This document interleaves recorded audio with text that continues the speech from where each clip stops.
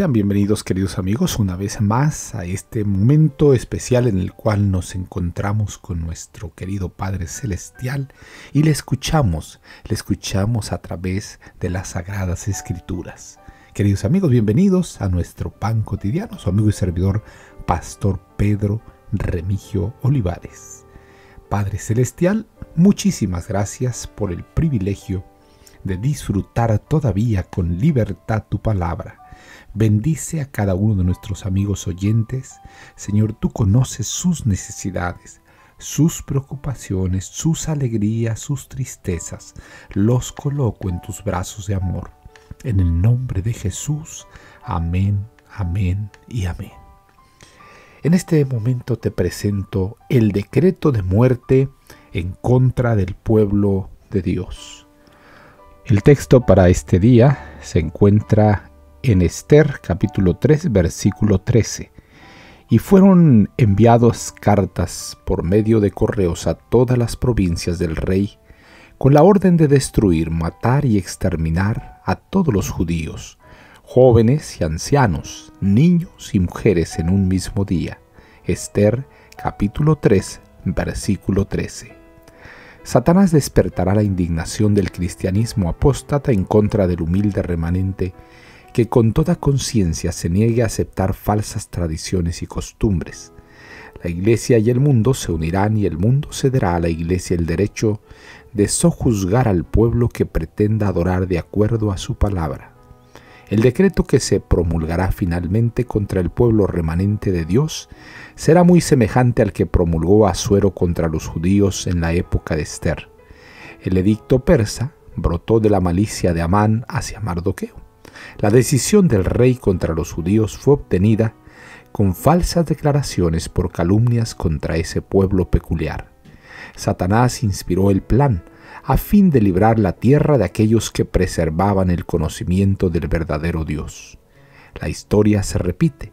La misma mente magistral que maquinó contra los fieles en siglos pasados, obra ahora a fin de controlar a las iglesias caídas para que por medio de ellas Él pueda condenar y ejecutar sentencia de muerte sobre aquellos que no adoren el sábado idólatra. Pero aunque así parezca, no libramos una lucha con seres mortales, no guerreamos contra sangre y carne, sino contra principados, contra poderes, contra gobernadores de las tinieblas de este mundo, contra espíritus impíos en las regiones celestes. Sin embargo, si el pueblo de Dios deposita toda su confianza y su fe en el poder divino, todo estratagema de Satanás será tan ciertamente derrotada en nuestro tiempo como lo fuera en los días de Mardoqueo. Se emitirá un decreto por el cual todo aquel que no haya recibido la marca de la bestia no podrá comprar ni vender, y por el cual finalmente ha de ser condenado a muerte. Pero los santos de Dios no recibirán esta marca el profeta de Padmos contempló a aquellos que habían logrado la victoria sobre la bestia, sobre su imagen, sobre su marca y sobre el número de su nombre que estaban en pie sobre el mar de vidrio con las arpas de Dios y entonando el cántico de Moisés y del Cordero.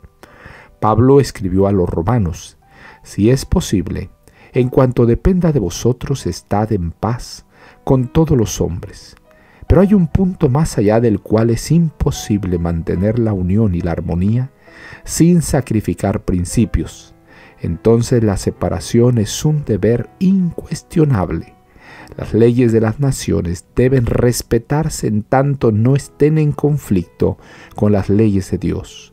Pero cuando haya contradicción entre ellas, todo verdadero discípulo de Cristo dirá como lo hizo Pedro, cuando se le prohibió hablar en el nombre de Jesús, es necesario obedecer a Dios antes que a los hombres.